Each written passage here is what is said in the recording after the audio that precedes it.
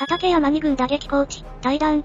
ヤクルトは27日、畠山和弘2軍打撃コーチが一身上の都合により、今月30日をもって対談すると発表した。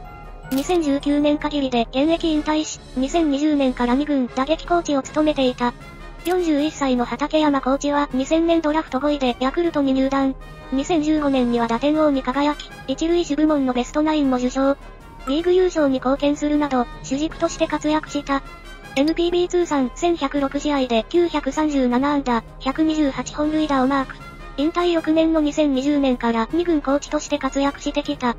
2軍は27日時点でイースタンリーグ8チーム中5位につけている。シーズン途中での異例の対談となった。シーズン中に配置転換でなく対談となると何かしらあったのだろう。体調面での対談という形でないことを願います。なんか最近痩せたなって思ったけど、まさか病気ということではないよね。やっぱり病気なんですかね二軍戦、感染していた時に、痩せたなと思いました。マイナスな事情での対談なのかな。体調不良とかならまだしも、不祥事ではないことを願いたい。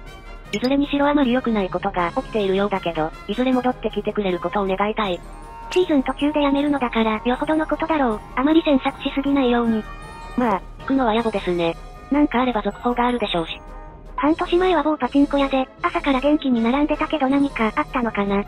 パチンコ好き、右打ちだほう。週刊誌か？もともとそこは良くないからな。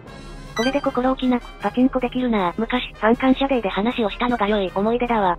この時期に対談っていうのは黒い噂もあり得る。今後の報道が怖いね。